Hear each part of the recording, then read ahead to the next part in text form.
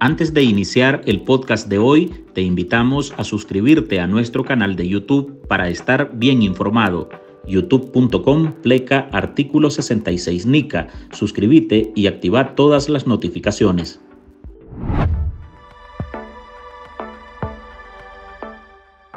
Hemos presenciado nuevamente otro ejercicio, ejercicio de injerencia de un grupo de países que forzaron durante todo este día esta votación. Injerencia en los asuntos internos de Nicaragua. Daniel Ortega y Rosario Murillo volvieron a patinar con su candidato. Valdrak Jenske fue rechazado como secretario general del Sistema de Integración Centroamericana. El propuesto por el régimen de Nicaragua no alcanzó un consenso. Esta nueva forma de injerencia externa pretende utilizar un foro multilateral como la OEA para promover la desestabilización interna, amenazando con la imposición de medidas y sanciones con el único propósito de alimentar políticamente a sectores internos vinculados al intento de romper el orden constitucional a través del derrocamiento violento del gobierno legítimo de Nicaragua. Los representantes de los siete países que integran el SICA no se pusieron de acuerdo sobre la candidatura del agente de espionaje sandinista y exmiembro de la seguridad del Estado en la década de los 80, que la pareja dictatorial de Nicaragua quiere imponer en el más alto cargo dentro de esa instancia regional. A detener de una vez por todas las prácticas injerencistas y provocadoras que alimentan la inestabilidad y que responden a los intereses de un pequeño grupo de países que carecen de autoridad moral para pretender tutelar la democracia y el desarrollo en Nicaragua. Solo Honduras, bajo el gobierno de Xiomara Castro, votó a favor. Después Costa Rica, Guatemala y República Dominicana lo rechazaron, mientras El Salvador y Panamá se abstuvieron. ¡Horror! ¡Qué decrepitud! Qué estupidez acabar siendo la vergüenza de los pueblos. La noticia cayó como una estocada en el pecho al régimen de Nicaragua y Rosario Murillo lo mencionó con ardor, al punto de lanzar una andanada de insultos contra los opositores que cabildearon el rechazo a Yenske y amenazar con prescindir del organismo si no le aceptan a su alfil para decidir las propuestas a los presidentes de la región pendientes desde el 16 de noviembre del 2023 sobre la Secretaría General del SICA, cuyo asiento corresponde por derecho y orden institucional del sistema al pueblo y gobierno de Nicaragua. El SICA tiene la silla vacante del secretario general desde noviembre de 2023, cuando el delegado de Nicaragua, Werner Vargas, presentó su renuncia aunque oficialmente Vargas no renunció ante los presidentes centroamericanos como correspondía, el gobierno de Ortega informó escuetamente de su salida mediante una nota de la Cancillería. La reunión concluyó sin consenso por las consultas que todavía realizan gobiernos de nuestra región. Reiteramos a los miembros del sistema que cada día que transcurre sin Secretaría General, el SICA se debilita más y más. Tras conocerse que Yenske era el ungido por los dictadores nicaragüenses, la oposición abanderó una campaña llamando a los cancilleres regionales a no respaldarlo. Ortega ha mostrado el interés de abrirle el camino a Rusia y China para que participen como observadores dentro de la entidad regional, y esa misión tendría que ejecutarla Jenske si logra tomar control de la organización. Cuánto afán de ser y no ser, desde el no ser de quienes solo chillan como repetidoras insufribles, como sirvientes de los que se creen amos. Hola, soy Álvaro Navarro y hoy en el podcast Ahora de Artículo 66 le presentamos Zika rechaza a Valdrak Jenske como secretario general. Hoy ampliamos sobre este nuevo revés que sufre la dictadura de Managua ante el organismo regional y amenaza con prescindir del Zika.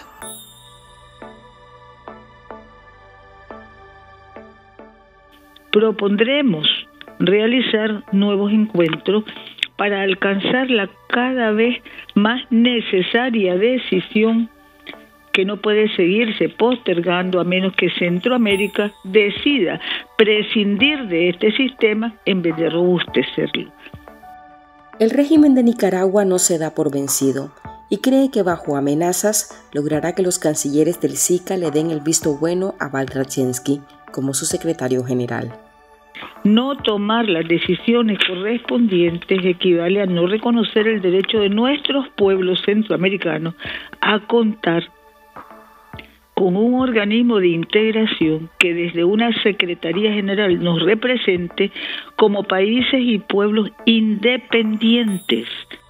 Rosario Murillo, en nombre de su dictadura, reclama al SICA porque desde hace nueve meses no se deciden por ningún candidato de la tiranía nicaragüense y por eso presionan con abandonar la entidad regional. El día de hoy se realizó el encuentro de cancilleres para decidir las propuestas a los presidentes de la región pendientes desde el 16 de noviembre del 2023 sobre la Secretaría General del SICA, cuyo asiento corresponde por derecho y orden institucional del sistema al pueblo y gobierno de Nicaragua. El SICA quedó sin secretario general tras la salida de Werner Vargas a mediados de noviembre de 2023 y esa silla que reclama Murillo no la han podido llenar por el bloqueo a Jensky, la ficha que el régimen quiere imponer en el SICA. ¡Qué facha! ¡Qué facha la que exhiben aquellos que no son ni ton, pero quieren ser palillones y palillonas de inexistentes desfiles, sin patria, sin honor, sin gloria, de vergonzado descendiente de William Walker.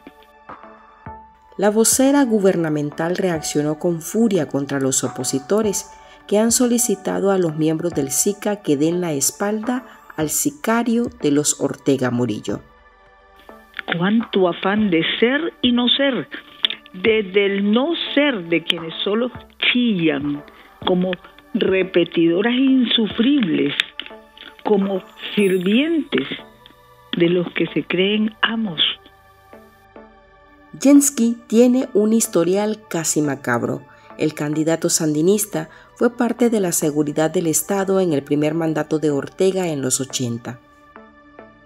El gobierno de Nicaragua se mantiene firme en su compromiso de continuar trabajando hacia la unidad nacional, la reconciliación y la paz como parte de su misión, fue enviado a la Embajada de Honduras y a través de su disfraz diplomático sirvió de espía en un país que fue utilizado como base por miembros de la contrarrevolución.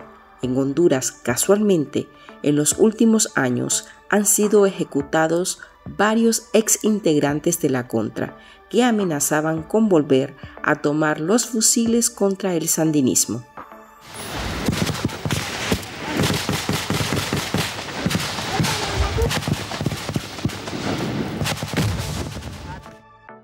Para 2007, con el retorno del FSLN al poder, se fortaleció su papel en la esfera diplomática. Después de ser vicecanciller hasta 2021, llegó a ocupar hasta 16 cargos en simultáneo y es de esos operadores políticos que le gustan a Ortega y Murillo, de los que no le discuten sus órdenes, así sean para cometer crímenes, actúan en complicidad con el aparataje represivo, conspiran y negocian para alcanzar sus objetivos. Ese es Jensky, el hombre de Ortega que ha sido rechazado por ahora en el SICA. Valdran representa para Nicaragua una pieza clave. Es conocido por su lealtad incondicional a Ortega y su participación en la defensa de los intereses del FSLN a través de medios eh, de persecución y además de persecución de inteligencia contra cualquier actor de sociedad civil y opositor que muestre esa tendencia de tratar de sacar a Nicaragua eh, de lo que ha eh, propiciado el FSLN. Además, insertar a Rusia de forma más amplia en Centroamérica con sus intereses de tener influencia hacia los Estados Unidos de forma negativa y también eh, buscar de qué forma amplificar esas redes de represión transnacional y procurar promover más el crimen organizado y el narcotráfico en la región. Escuchamos a Enrique Martínez, vocero de la Plataforma de Unidad por la Democracia, una de las organizaciones que encabezó el cabildeo para que los países rechazaran a Jensky. A todas esas chicharras les responde el universo desconociéndole. A todos ellos y ellas les responde la condena del patriotismo de nuestros pueblos y comunidades. Martínez celebra la decisión del SICA de no dejarse presionar por el régimen de Ortega, el que asegura sufrió un duro revés político y por ello responde con improperios contra los opositores. El revés del régimen sandinista de Nicaragua en el SICA con Valdra como propuesta para secretario general es una clara muestra de que la región ya no está dispuesta a aceptar las imposiciones y chantajes de un régimen que cada vez está más aislado, producto a su represión, violaciones a los derechos humanos y deterioro democrático amplio en el país. La falta de consenso es un golpe diplomático significativo que refleja el rechazo a las tácticas autoritarias de Ortega Murillo y pone evidencia su influencia en el ámbito regional, demostrando un alto declive. Además de que los países se están cansando de la forma en que está tratando de sobrellevar la política y sus relaciones en Centroamérica. En esa línea, el politólogo y excarcelado político Félix Maradiaga resume como una enorme derrota para la dictadura el no lograr imponer a su alfil en el SICA. Solo Honduras respaldó la postulación de Jensky.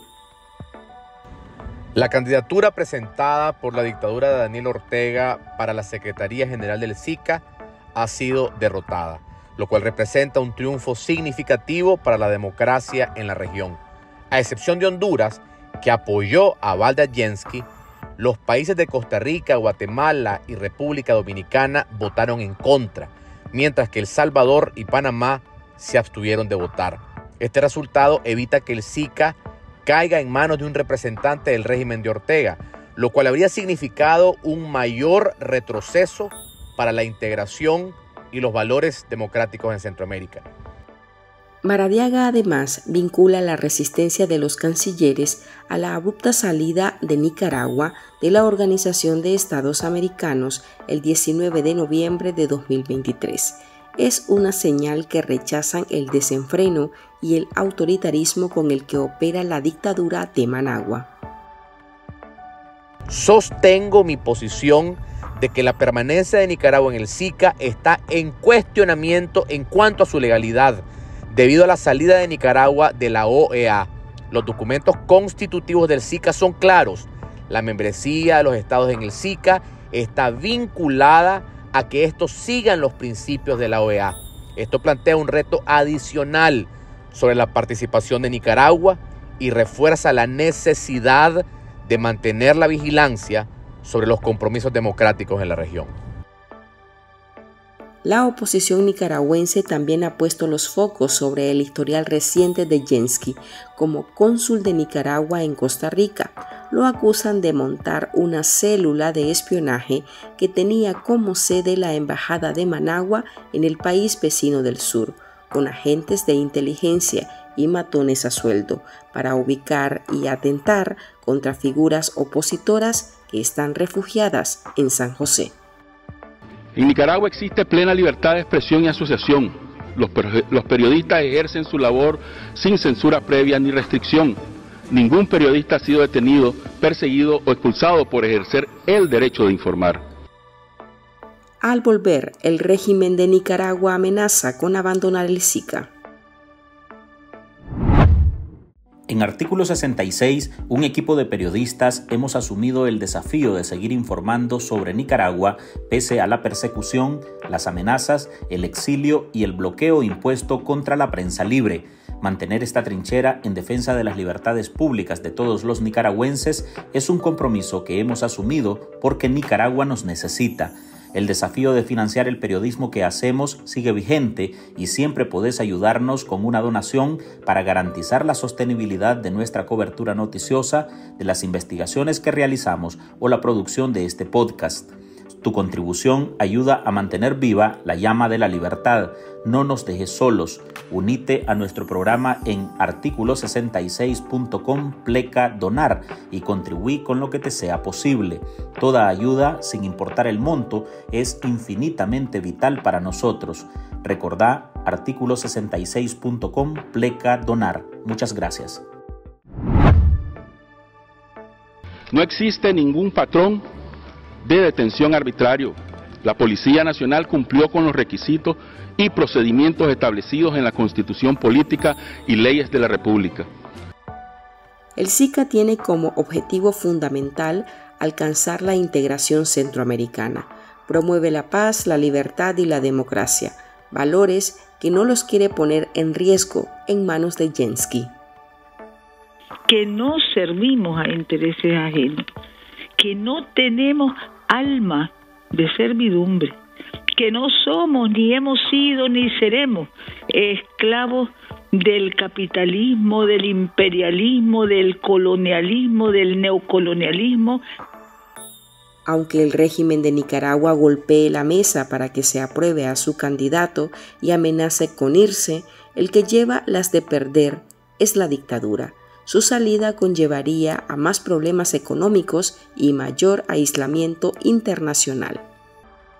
Aunque es una posibilidad en términos retóricos, sería altamente contraproducente para Nicaragua, el SIC es una plataforma clave para la integración regional y el y acceso a ciertos beneficios económicos y de cooperación, además que le permite tener interlocución con los países de Centroamérica, considerando que son los más cercanos, salirse del organismo es aún aislarse más, limitando sus opciones eh, de desarrollo y debilita esas relaciones internacionales y generando también mayor agravio sobre la situación interna que atraviesa en materia de eh, control social sobre la ciudadanía, también la purga que se está gestando dentro de sus estructuras y sus relaciones comerciales que en cierta manera van a tener un impacto en la economía del país. Es importante destacar el papel clave de las diversas plataformas de oposición nicaragüense que se unieron en una sola voz para incidir en contra de esa candidatura. Esta unidad de acción demuestra que cuando las fuerzas democráticas se alinean, es posible frenar los avances de los regímenes autoritarios y proteger las instituciones regionales. Mantener al SICA libre de influencias antidemocráticas es un paso positivo para fortalecer la cooperación y el respeto por los principios democráticos en Centroamérica. El régimen, pese a su palabrería y amenazas, advierten, fracasará también en ese chantaje que pretende doblarle el brazo a los países centroamericanos. Intentan imponer en el SICA porque buscan asegurar figuras afín, figuras que puedan decir que, que son de medianamente confianza y que pueden defender los intereses ante este organismo regional.